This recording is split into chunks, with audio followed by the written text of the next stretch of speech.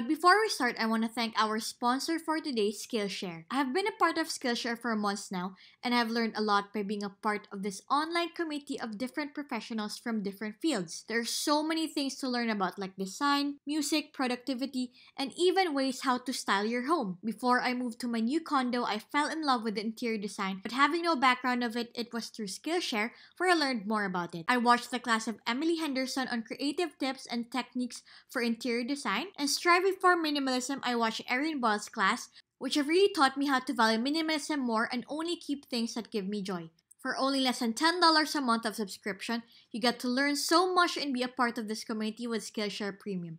For a limited time, click the link in the description box to get a free trial of Skillshare Premium membership. The first 1,000 to click the link in the description will get a free trial of Skillshare Premium membership.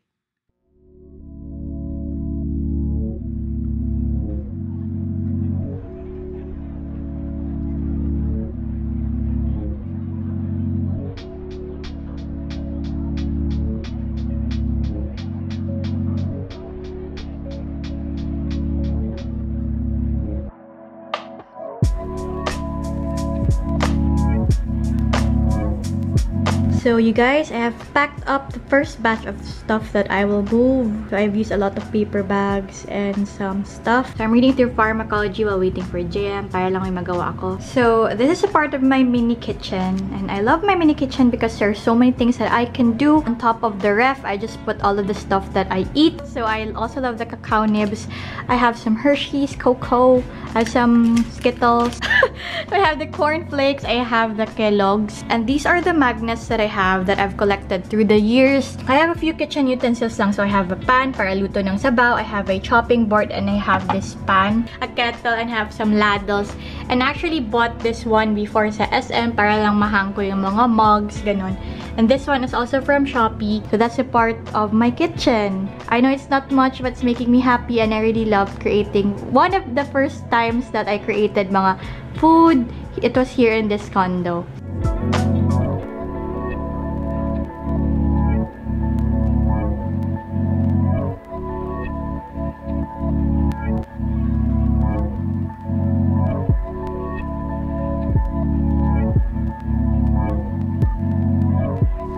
Rug anymore. I wanna cry, but like, yeah. So I just got the push cart sa baba, and I'm gonna put this into the push cart.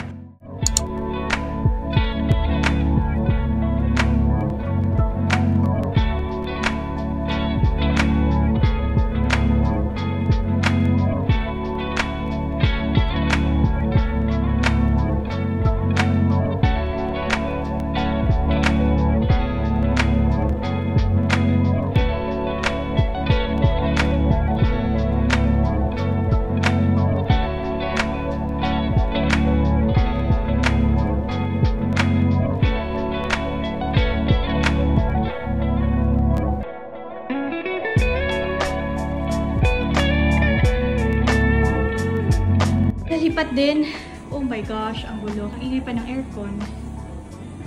May mirror tayo! Hi, Bang Bang. Thanks for helping. Next time na ako mag-tour dito, guys. Di pa naayos. Ayusin ko muna. God, napagod ako. Bumuli na lang binalot. Jem is actually fixing the stuff kasi may mga binilang mga shelf ganun.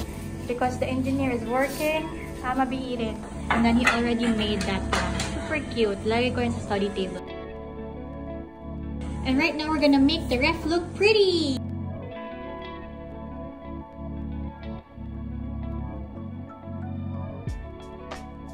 Bili akong Domex sa baba sa Watsons, tsaka wipes.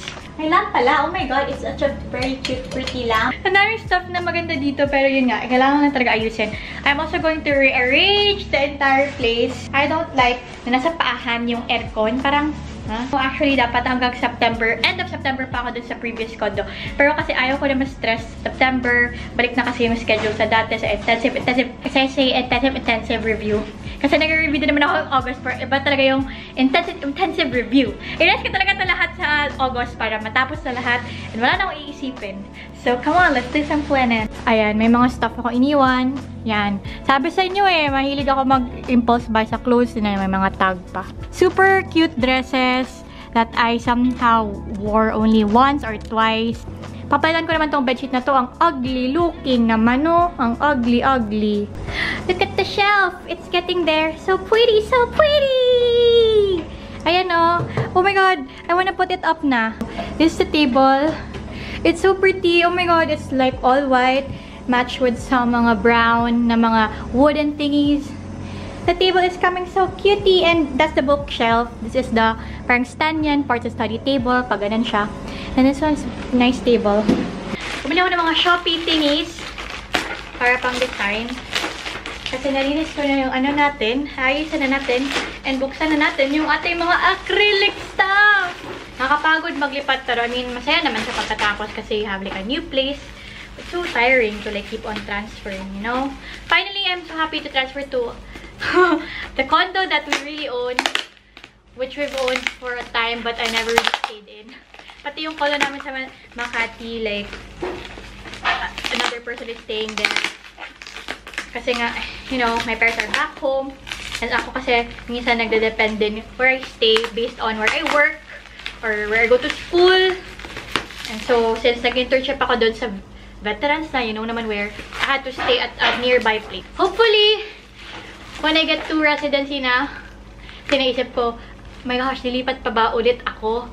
Kasi you know na with the duty and schedule, but hopefully, I will here na lang and just, you know, have our car sent here.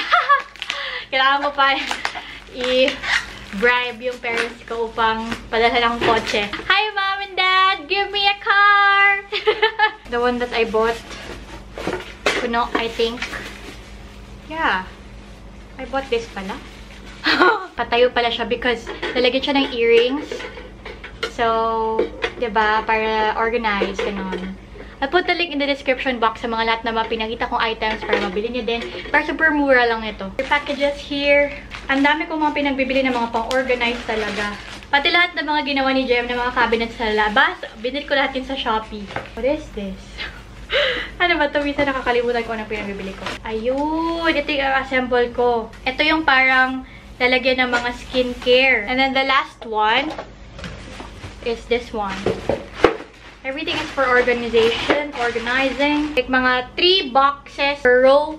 Tapos pwede mong ano. Actually, mga mahal kasi nakita ko nung una. Pero may nakita ako na murang shop na nagbenta siya na same naman yung quality sa ibas. Kaya ito yung binili ko. Skincare onto the skincare turning thingy. Actually, meron pala akong earring. So, nilagyan ko ng isang earring. Yan lang yung bit-bit ko na earring.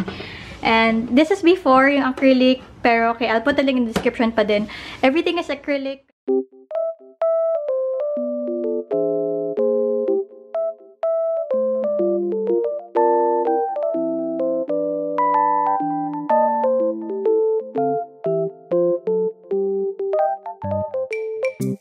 Pagod na ako. Ang bigat. Ayan. Oh, okay, I'ma move it. Medyo naayos ko na room ko. Tingnan nyo, may nakita ako. Headband! Naglumala talaga pimple ko. Oh, laki-laki. Diyos miyok. Ayan na, dinesign ko na. Tapos nagpabango ako. Dinala ko yung diffuser ko. Charot. Of course, hindi pa naayos yung stuff. But, you know, ito pala nalalagay ko. Mga bikini lalagay ko. Ito kasi yung maleta ko. Ito lang nalagay ko from my cabinet sa condo. Pero ang dami pa naiwan doon. Kasi na-set up na din siya. Yung, ano to? Oh my God, pang study table. Yung stuff. Yung cabinet is all there. The small table. Although hindi pa talaga maayos yung buong room. That's supposed to be for the balcony. But, yeah. Diyan na muna. Sige. Sobrang pagod na ako. It's been like 5 hours since we started cleaning. Jeff's just watching his TV show. I'm just gonna finish everything cleaning. After this, magbabanyo pa. And I really wanna study, but feel ko parang wala na yung energy to study. So, I'll just rest the entire night. Okay. Jeff picked me up sa condo. So, pinak naman ulit yung balata ko para maglagay ako ulit ng mga clothes ko from the other condo. Then yung mga labahan, kasi mga towels na nakalagay sa condo na never nagamit and kind of smells bad. And I also bought some Shake Shack para makain ako pagbalik sa old condo. Actually, before ako natulog, nagtry ako magbasa like super onte lang. And para nakabasa ko like mga 7 pages. Yun lang, hindi ko na kinaya so natulog na talaga ako. I'm gonna eat and I'm gonna enjoy my day and try to relax and I will see you when we move out again next weekend.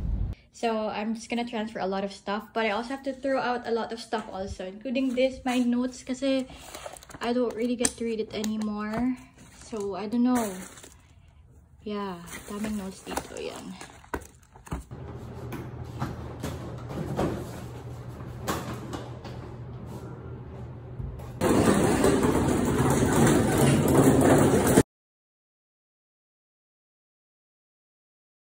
Jem came here to bring me some of my stuff and he's also doing some things in the condo like helping me out in the bidet and the water heater. So I got some stuff from PR at the same time yung mga deliveries ko din. Kasi usually mga deliveries ko kasi I have it shipped to his house kasi minsan um, right, wala ako dito or something, at least may mag-receive sa kanya lagi. So I ordered the Dyson Pure Cool last Lazada sale, but I ordered it from the official Dyson store. So, hindi na kami nag-unboxing because Jem did the unboxing because he had to check if okay ba yung unit or not. So, this the box. is actually very big. It's the same size of the um, unit itself. So, so far, it's very good. Ang super lamig siya. So, I just set it at like 9 And actually, malamig na siya. I didn't move on to 10 anymore. Actually, kahit 8, okay na nga siya. Again, as I said, by the time this video is up, I'm already a licensed physician. This November. This is September 30. I actually just ate KFC and some Sonia's cupcakes because yun yung naiwan na food dito. Actually, we're in the old condo. Today is September 30 and that means this is the official move-out day.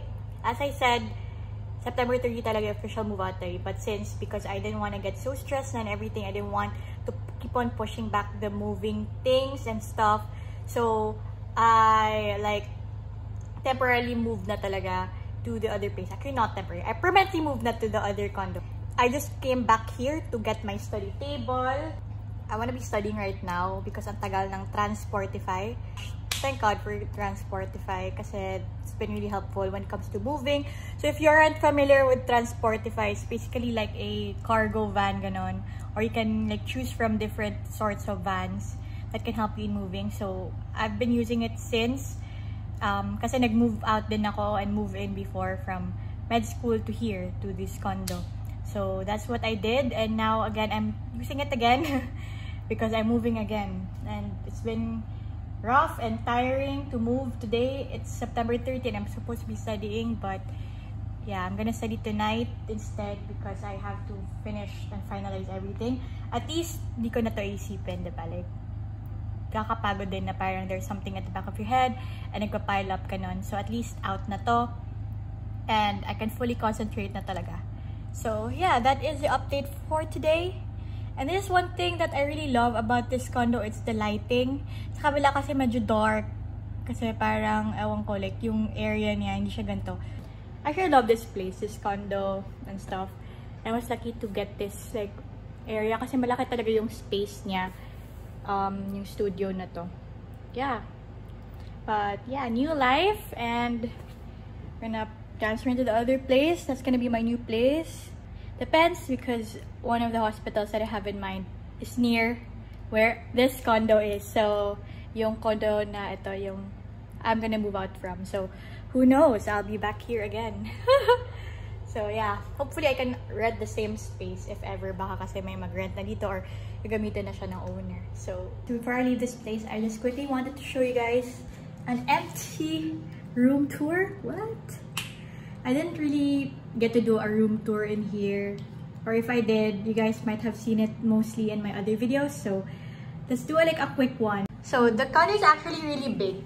And here, my space siya. And for the most time the entire part, yan ang nakalagay to, box. And ito yung mga kalat ko, storage stuff. But wala na siya dito. Because I've cleaned it up na. Some things I've thrown, some things I've moved to the other condo. So this is the bathroom. It's actually just a small bathroom. And it has a heater. It has a bidet. And iniwan ko na yung other stuff dito. And actually, I just cleaned it really quick. This is the whole place. So this is where I put the cabinet. And then next to the cabinet, there was like a big box over here. Mga ano lang din yan, school stuff. But wala na, like tinapon ko na yon And here's the study table. So that was where the study table was. Um, is. Or like the whole thing. And then, dito yung bed. Yung bed na to, actually, meron siyang mga storage din dito.